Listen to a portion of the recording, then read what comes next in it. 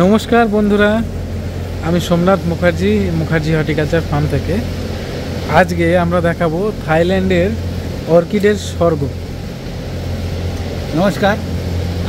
এখানে ভিডিও করতে দেয় না, অনেক রিকোয়েস্টের পরে ভিডিওটা হোল হচ্ছে। তো যাই হোক, আমরা যেখান থেকে ফিলোনপসিস অর্কিড নিই, দেখুন বন্ধুরা, কি অবস্থায় আছে। আমি এখান থেকে, আজকে এখান থেকে আপনাদের জন্যে অন্তত তিনশো ফিলোনপসিস তুলছি। দেখুন পরিবেশটা দেখুন।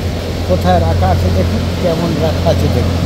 ওপরের স্ট্রাকচারটা কেউ তুলতে দেয় না তবু আমরা দেখাচ্ছি হালকা করে এক- এক ঝলক। সময় কিন্তু এটা পুরো ডাবল সেগমেন্ট হয়ে যায়। যখন রোদ হয় এখন খুব আর্লি মর্নিং বলে এটা এরকম আছে। রোদ আসলে না এটাকে আপনার উপরে যে শেডনেট আছে ফাইবার আছে তারপরে নিচে আবার এই শেডনেটটা ওরা ওই আহ, মানে কী বলি কপি কলের মতো ঘুরিয়ে দিলে ও সব একসাথে হয়ে যায়। নিচে দেখুন যথেষ্ট ময়েশ্চার আসছে আর স্প্রিংলারে জল দেওয়া হয়। আর দেখুন একদম পুরো ড্যাম প্রুফ আছে।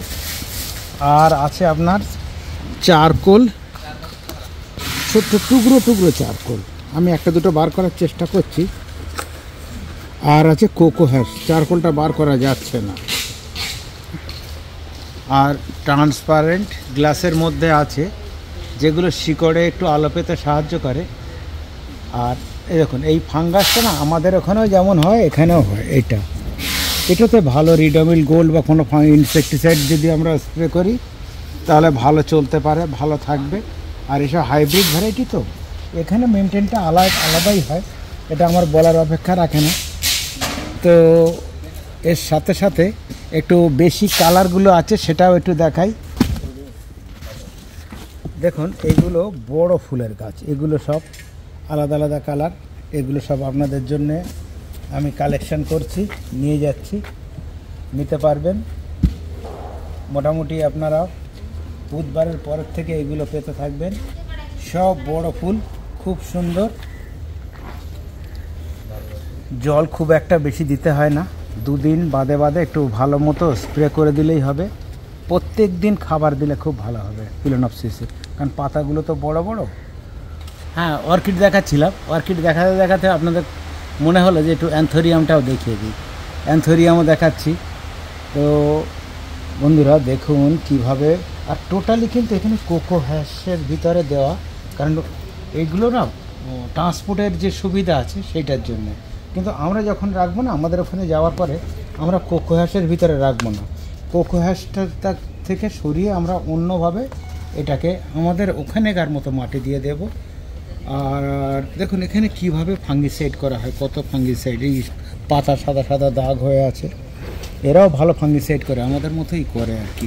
এবার ব্যাপারটা হচ্ছে যে এখানে আপনার সব কিছু অটোমেটিক জল দিচ্ছে অটোমেটিক স্প্রে হচ্ছে অটোমেটিক খাবার দিচ্ছে অটোমেটিক ওই জন্যে এদের কি হয় কোকো হ্যাসের ওপর মেনটেন করতে সুবিধা। কিন্তু আমাদের তো অত ভালো প্লাস ট্রান্সপোর্টেশনের হ্যাঁ এবার আমরা এগুলো সব তো ফ্লাই ফ্লাইটে নিয়ে যাব।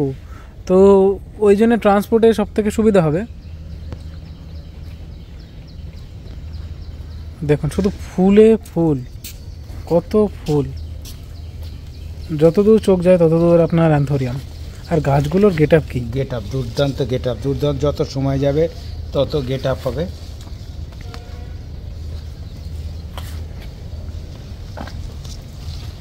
কালার দেখুন বন্ধুরা।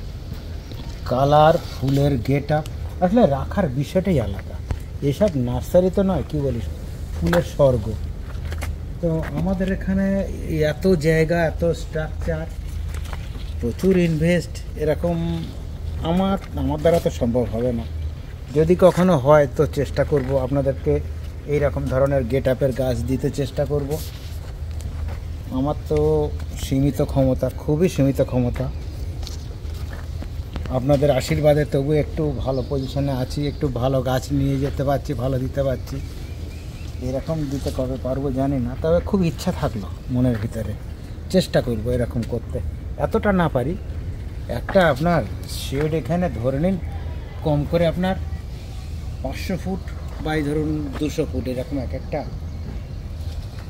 আর এক একটা বেড অন্তত আপনার কিছু না হলেও দেড়শো, দুশো ফুট করে। এক একটা বেডের চৌড় মানে লম্বা। এক একটা বেডে অন্তত পাঁচ হাজার সাত হাজার করে গাছ আছে। বাবা তিন বছর পরে থাইল্যান্ড আসলো। তো আমাদের তো প্রত্যেক বছরেই আগে হতো।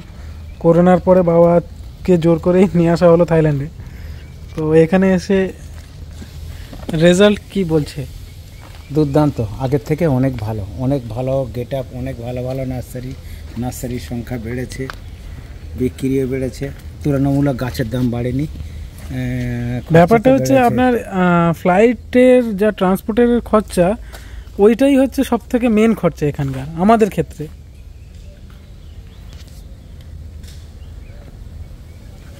তো বন্ধুরা গাছ করুন গাছের সঙ্গে থাকুন আর আমি চেষ্টা করি আপনাদের আপনাদেরকে আমি যতটা সার্ভিস দিতে পারি ভালো জিনিসটা হাতে তুলে দিতে পারি ভালো কালেকশন দিতে পারি। গাছ করুন। হ্যাঁ অ্যান্থোরিয়াম বলুন, অর্কিড বলুন সকলের ডরমেন্সি আছে। ডরমেন্সি টাইমে খাবার দেবেন না। ডরমেন্সি টাইমে এদেরকে একটু ভিটামিন কিছু স্প্রে করবেন। আর মাটিটা প্রপার হতে হবে, জলটাও ভালো হতে হবে। যখন আপনার গাছ খারাপ হবে, গাছের পাতা যখন পুড়তে থাকবে একটু চেষ্টা করবেন কেয়ার নিতে বা ধরুন একটু আমাকে জানাতে বা যারা গাছ সম্পর্কে জানে তাদেরকে একটু জানাতে। আপনার গাছ ভালো থাকবে, আপনার গাছ ভালো থাকলে আপনি ভালো থাকবেন, আমরাও ভালো থাকবে। তো ঠিক আছে বন্ধুরা, সবাই ভালো থাকবেন, সুস্থ থাকবেন। আর অবশ্যই আমাদের কমেন্ট বক্সে লিখে জানাবেন কি কি নতুন ভিডিও চাই আপনাদের বা কিসের ওপর ভিডিও চাই।